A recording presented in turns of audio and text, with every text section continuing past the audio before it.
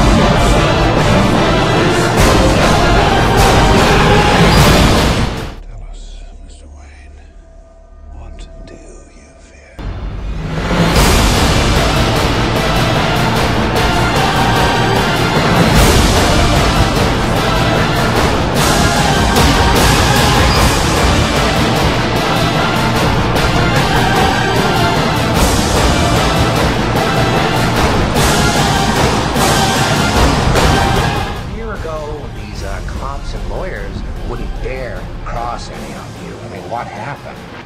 What are you proposing? It's simple. Kill the Batman.